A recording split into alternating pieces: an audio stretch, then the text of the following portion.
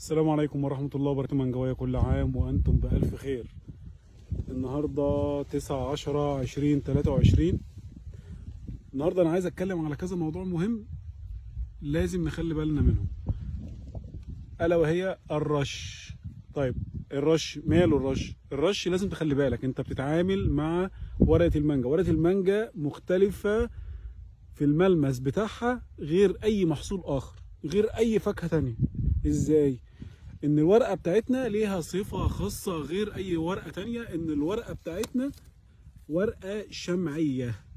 يعني إيه شمعية؟ يعني عاملة زي كده إيه بالبلدي كده عاملة زي المشمع. يعني محلول الرش بتاعك لما بينزل على الورقة دي ما بيحصل لهاش بيحصل عدم تماسك. يعني المية بتاع المية نفسها ما بقاش فيها تماسك على بشرة ورقة المانجا. ده معناه إيه؟ معناه إن إحنا يا جماعة لما نيجي نرش ما نرشش غسيل. ما نرشش غسيل. بالنسبة للمغذيات بالنسبة للمبيدات الفطرية بالنسبة للمبيدات الحشرية. نخلي بالنا إن إحنا بنتعامل مع ورقة ليها صفة خاصة وليها تركيبة خاصة. إن أنا ما أروحش أغرق الشجرة بتاعتي بشكل كبير بالنسبة للحشر بالنسبة للمغذيات وأقول أصل النتائج عندي مش عالية ومصاريفي كتير. الرش في المبيدات الحشرية والمغذيات وبعض المبيدات الفطرية يستلزم عليك إن أنت ترش رش بخار تبخير رذاذ عشان تجيب نتائج ملموسة. مش غسيل وغرق الشجرة وغرق الدنيا. لازم نخلي بالنا من النقطة دي. إلا إذا إن إحنا عندنا عفن هبابي أو عندنا أشنات أو عندنا أي مشكلة فطرية ممكن أستخدم مركبات النحاس أو أي مركبات المتخصصة في السوق وأبدأ إن أنا أغسل شجرتي. ليه؟ عشان أنا عايز أنزل المشكلة اللي على الورقة مش الورقة تبقى نظيفة بالشكل ده وأرشها رش غسيل وأنزل كميات مية كبيرة. لو أنا مستهدف أي مرض زي الأشنات أو زي التبقعات البكتيرية أو زي آه، أي مرض بكتيري أو فطري على الخشب أو على الورق آه أغسل مفيش مشكلة. بالنحاس بالصابون الزراعي بالحاجات اللي هي المتخصصة عشان أنزل الحاجات المعوقة على الورقة أو إذا كان على ال- الخشب أو الأفرع اللي عندي. دي نقطة. النقطة الثانية مواعيد الرش. يا جماعة مواعيد الرش في الأمراض الحشرية لما تكون أنت عايز مستهدف تريبس جسد بالأخص بلاش ترش من بعد الساعة 10 والشمس طالعة عشان التعداد بتاعك هيقل.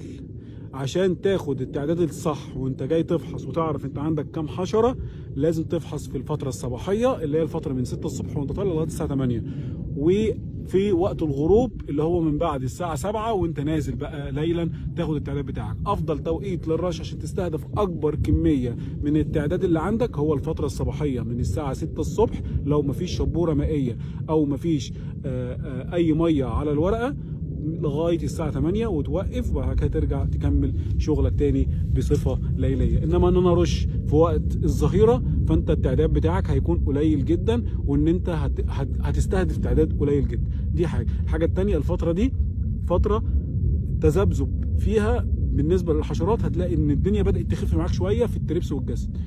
بس خلي بالك إن أغلبية الحشرات هتلاقيها موجودة عندك ومعذرة عندك في التربة تحت. حاول إن أنت تفكك الدنيا شوية من تحت ودي فرصة اللي هتجيلك الأيام الجاية إن أنت هتبدأ إن أنت تفكك التربة شوية. دي نقطة. النقطة الثالثه مو- موضوع عجينة البوردو. في واحد كان قايل لي إن أنا لو أنا حد كان قايل له يعني إن أنت لو أنت عملت دهان البوردو وعملت دهان على الشجرة فده بيأثر على نسبة التزهير عندك في الموسم اللي جاي. طبعا الكلام ده خطأ. اعمل التجربة اعمل الخلطة بتاعتك بشكل عادي جدا. اعمل الخلطة بتاعتك الدهان البوردو اللي هو الجير الحي أو الجير المطفي ومع كبريتات النحاس ومع الغيره وبلاش البلاستيك.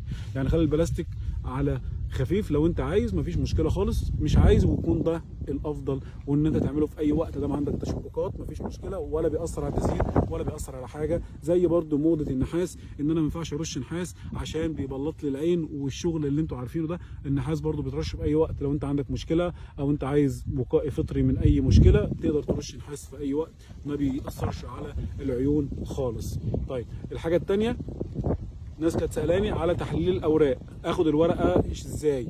الورق يتاخد بالشكل السليم ورقة تكون سليمة 100% ما فيهاش أي خدوش ما فيهاش أي أمراض ما فيهاش أي حاجة وتتاخد في العنق بتاعها وتتاخد بشكل عشوائي وتتحط في أكياس ورقية.